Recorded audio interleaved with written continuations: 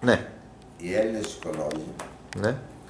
είναι η μεγαλύτερη οργάνωση οικολόγων της Ελλάδος. Αμήν. Ε, δέχονται μέλη από οποιοδήποτε χώρο και να προέρχονται. Γι' αυτό και έχουν και σαν σλόγκαν γίνε μέλος από οποιοδήποτε χώρο και να προέρχεσαι. Οι Έλληνες οικολόγοι έχουν τις λύζες τους από το μεγάλο, τον Άγγελο Σικελιανό και τα δρόμενα του 1930 στην Ολυμπία, στις Δερφούς και τα λοιπά. Κάνουν από τότε εκδρομές εκπαιδευτικές, ομιλίες, συναισθιάσεις και κάθε μέρα που περνάει σε κάποιο καινούριο μέλος εντάσσεται στις τάξεις τους.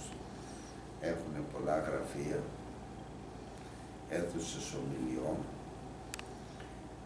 και από αυτή την οργάνωση έχουν περάσει πάνω από 100 πολιτικά πρόσωπα.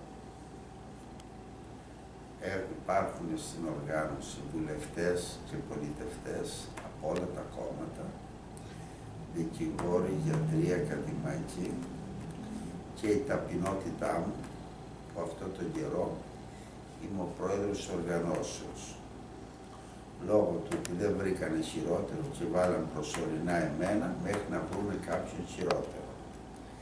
Η γνώμη μου όμως για τους Εβραίους